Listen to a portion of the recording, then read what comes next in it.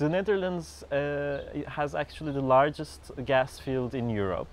These fields have been already like depleted uh, halfway or more and they have been increasingly causing earthquakes uh, very close to the surface and very much damaging uh, to the house, to the residents of, uh, of the region.